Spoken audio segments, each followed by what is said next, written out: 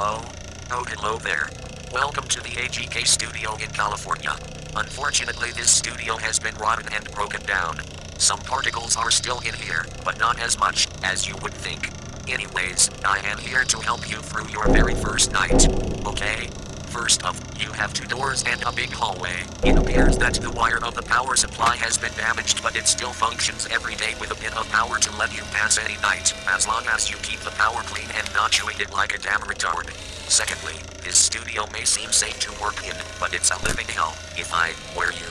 Basically, you are a night watcher in this studio that keeps our robots safe and not getting malfunctioned that we have to burn them away.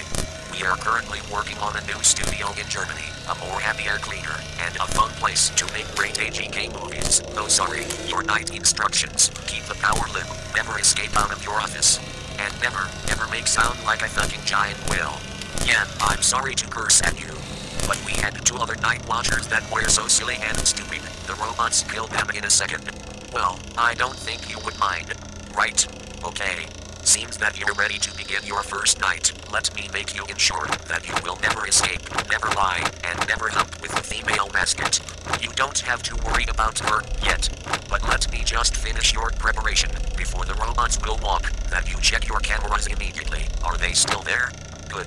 Is one of them missing? Don't panic. Or you make things even worse. Don't worry about Leopold Slick. He is too weak to roam around at a night like this. Well, I think my time is going. I need to go back and help one of my employees by setting up the decoration around. I will talk to you tomorrow, okay? Good night, and good luck.